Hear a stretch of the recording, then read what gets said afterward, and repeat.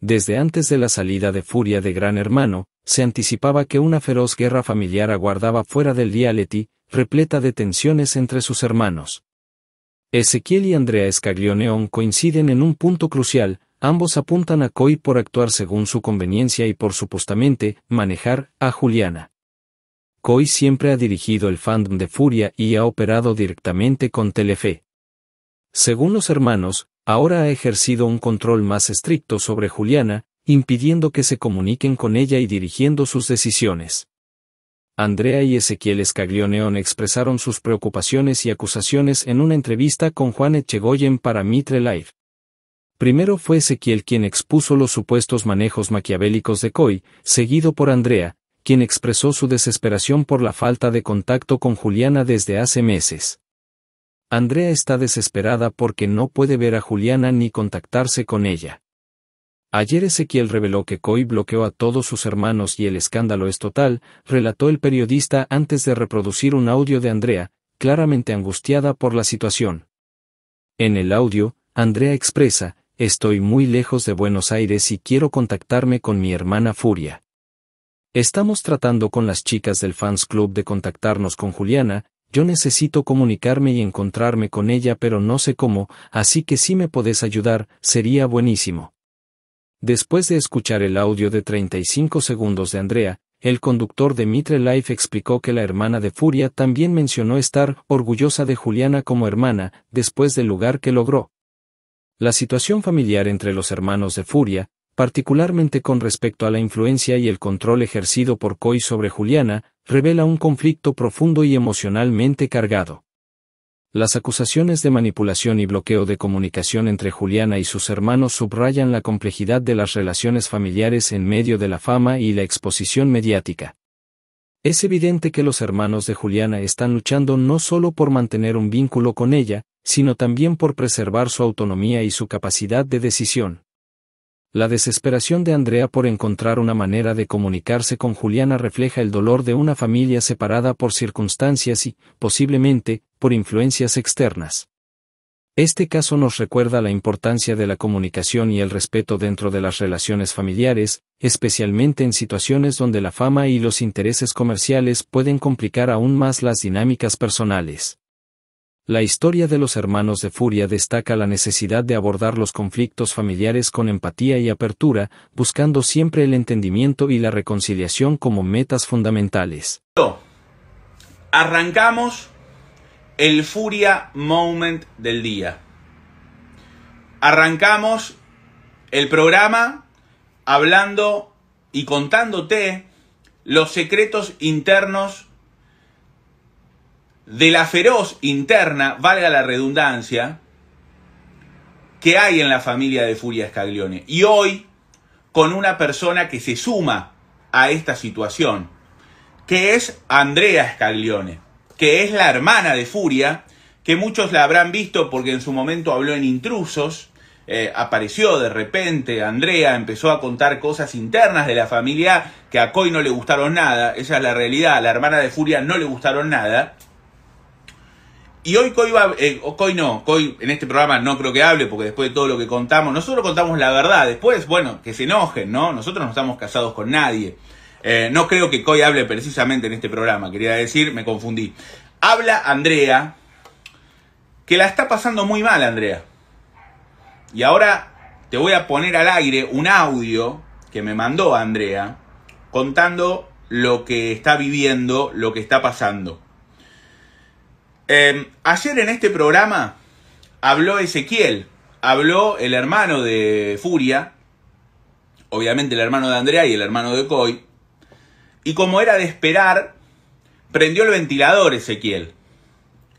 Reveló datos desconocidos que hasta ahora no sabíamos, que hoy son tapa de todos los portales y que han confirmado, pese a quien le pese, lo que muchos pensábamos, lo que muchos sospechábamos, la información que a muchos nos llegaba de presuntos negocios que hacía Coy o que hace Coy a espaldas de Juliana. Lo que pasa es que Juliana ahora salió de la casa de Gran Hermano, pero cuando estaba adentro, ¿qué pasa? Coy tenía vía libre para hacer lo que quisiera. Bueno, eso se terminó en el mismo momento que Juliana salió de la casa.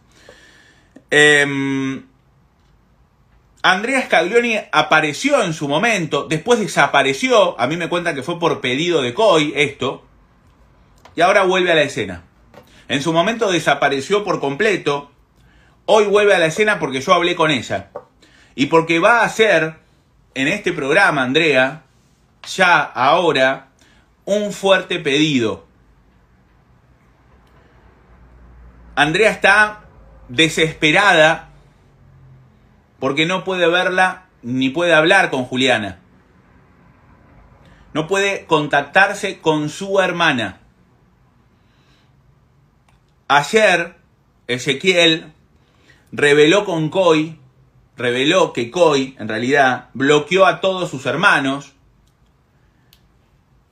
Y el escándalo, obviamente, que es total.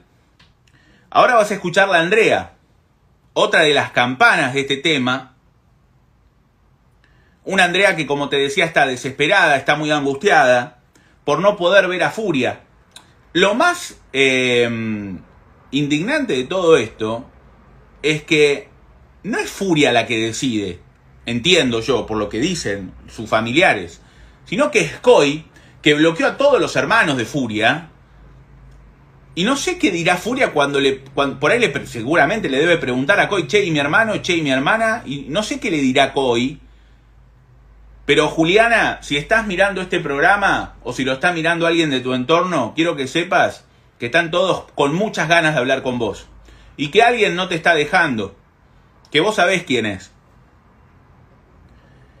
Em, ahora voy a compartir el audio de Andrea. Me dice Andrea, además del audio que me manda, Andrea cuenta una intimidad, Andrea vio la nota ayer con Ezequiel, Andrea me hace un pedido expreso de hacer pública esta situación, porque verdaderamente no la aguanta más la, angustia y la desesperación de no poder estar en contacto con su hermana. No lo aguanta más. Em, me dice que ella quiere acompañar a Furia en este momento que está viviendo. Incluso me contó un dato que es muy tierno. Me dice que mandó a hacer un muñeco de Furia gigante em, para regalarle justamente a Juliana en este tiempo, que se lo quiere dar. Em, la quiere ver, pero por ahora no puede, por ahora no la dejan, ¿no? Em, te voy a poner el audio de Andrea. Un audio que está sin editar, que me lo mandó ella, pero me autorizó a ponerlo para poner en claro cuál es la situación hoy. Eh, hay, un, aclaro esto porque está quienes pueden llegar a pensar y me pueden llegar a preguntar, Juan, pero ¿por qué no salió al aire a dar una entrevista? Bueno, porque ella no puede dar notas por un tema personal, no viene al caso, pero sí quiere hacer pública la situación. Escuchala a Andrea, a la hermana de Furia, confesando por primera vez en medio de este escándalo interno que hay en la familia, que no puede ver a su hermana, que no puede hablar con ella así de insólito como te lo estoy contando. Hola, ¿cómo estás? Eh, yo me encuentro en el sur, ¿sí? No estoy dando notas porque estoy en, en un lugar muy, muy lejos, muy lejos de Buenos Aires. Sí quiero eh, que quiero contactarme con Juliana. Estamos tratando con las chicas del Fans Club, eh, Liliana, de ver. Necesito contactarme con ella, pero no sé cómo. Así que si me puedes ayudar con eso, estaría bueno. Y yo ahí te puedo dar una nota, porque no quiero dar notas si no me encuentro con mi hermana. Realmente yo quiero encontrarme con ella. Bueno, e, ese es el audio. Obviamente que después hay más audios, pero que no puedo pasar al aire. Eh, y obviamente que también eh, Andrea, en este relato que me hace de 35 segundos exactamente, hay un montón de cosas que no dice. Eh, esto corre por mi cuenta para que después no se la agarren con Andrea.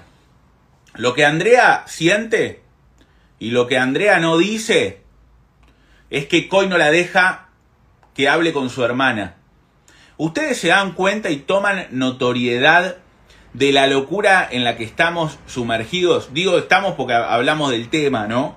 Que una hermana le impida a la otra hablar con Ezequiel, hablar con su sobrina, hablar con sus hermanas. ¿No llegó muy lejos todo esto? ¿No es verdaderamente una locura insostenible todo esto? Bueno, em, esa es la situación. Después hay varias cosas escritas que me dice Andrea, me confiesa que está orgullosa de Juliana como hermana después del lugar que logró. ¿eh? Em, para mí es un escándalo, es un escándalo total porque no me acuerdo, hoy lo charlaba incluso con diferentes colegas, que llegamos a un punto que no solamente una, una familiar, olvidémonos de Furia, olvidémonos de Coy, olvidémonos de, los familiares de, de, Furia, llegamos al punto que no solamente un familiar de una participante de Gran Hermano sea famosa, porque de Coy estamos hablando todos, por ende es famosa, yo te hablo de Coy y vos ya sabés quién es, o bueno, seguramente habrá algún desprevenido que no, pero está con un alto nivel de exposición. Esto genera Gran Hermano. Lo generó con el anterior eh, reality, lo generó con este, ¿no? Lo que quiero decir es que me parece una locura. Primero, lo que confirmó ayer Ezequiel acá. Esto que dijo de que mi hermana está detrás de un negociado a las espaldas de mi otra hermana, de Furia, que es verdaderamente la famosa.